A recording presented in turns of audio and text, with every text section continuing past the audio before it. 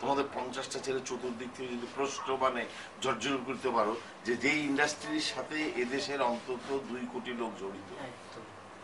Cinema হলে একটা checker যে লাইট জ্বালায় লোক বসায় সে তো ফিল্মের সাথে সম্পৃক্ত।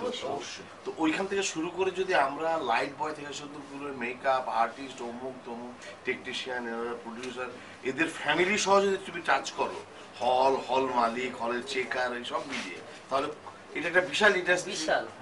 তো ইন্ডাস্ট্রিকে আপনি কেন কেন এই অবহেলা করতেছেন বা ইন্ডাস্ট্রিকে ধ্বংস করার জন্য যে প্রক্রিয়াগুলো সরকারিভাবে প্রশ্রয় দেওয়া হচ্ছে, সেটা কেন আপনারা করতেছেন?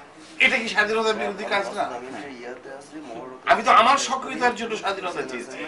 আমার সক্রিয়তার জন্য স্বাধীনতা অর্জন করতে গিয়ে আমাদের মুক্তিযুদ্ধে গেছি, রক্ত দিছি। আমরা বেঁচে বেঁচে আসার জন্য তো মুক্তিযুদ্ধে যাইনি। প্রশ্নই ওঠে না। না? Retirement না না যারা গেছে মরে গেছে না?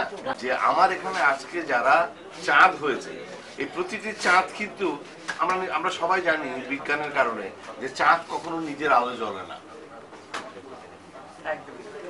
আজকে যাদেরকে তোমরা স্টার চাঁদ স্টার মুন বানাচ্ছ আমাদের এখানে চলচ্চিত্রে রাজ্জাক সাহেব থেকে শুরু করে আরও আগে থেকে শুরু করে এর চতুর্পাশে যে সাপোর্টিং লাইট এই আলোগুলি দিয়েই তার আলোকিত।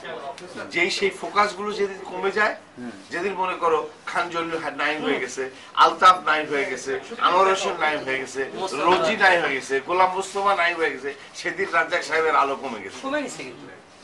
দেখেন আমার এই উদাহরণটা তোমরা কোট করতে পারবে সেদিন কিন্তু রাজ্জাক সাহেবের আলো নাই কারণ রাজ্জাক সাহেব চলতে পারে না রাজ্জাক সাহেব চাঁদ রাজ্জাক সাহেবকে সাপোর্টিং লাইট দিয়ে সূর্যের আলোয় চাঁদ আলোকিত মান্না আমার দুটি হাত চেপে ধরে বলছিল তার পিতা মাতার আমানত ছবিতে আপনি যদি অভিনয় না করেন আমি রিফিউজ করছিলাম।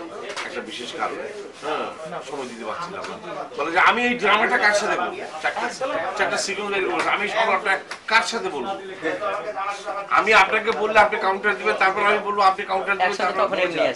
তারপরে তৈরি হবে আমি কাকে বলব?